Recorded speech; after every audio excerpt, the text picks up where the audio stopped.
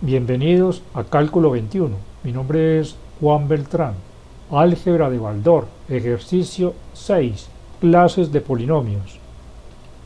El enunciado del primer ejercicio dice, atendiendo a si tienen o no denominador literal y a si tienen o no radical, dígase de, de qué clase son los polinomios siguientes.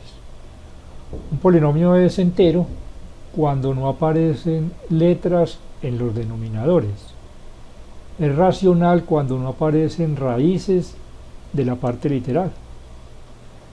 Aquí este primer polinomio es pues entero y racional. En este segundo polinomio, aunque aparecen fracciones, no hay letras en los denominadores. Entonces el polinomio se considera entero. Tampoco hay raíces de alguna de las letras. Así que este polinomio también es entero y racional. En el tercer polinomio no aparecen denominadores. Así que el polinomio es entero. Y hay raíces de letras. O sea, aquí por ejemplo está la raíz cuadrada de d. Así que este polinomio se considera irracional.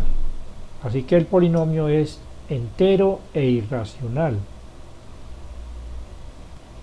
En el cuarto polinomio aparecen denominadores, pero no hay letra en ese denominador.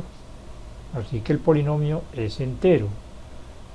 Y además, esta letra A le están sacando raíz cuadrada.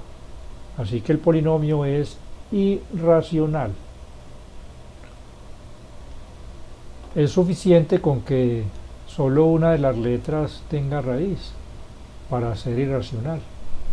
Así que el cuarto polinomio es entero e irracional. Así concluye la solución de este ejercicio. Hasta pronto y ánimo en el esfuerzo por aprender.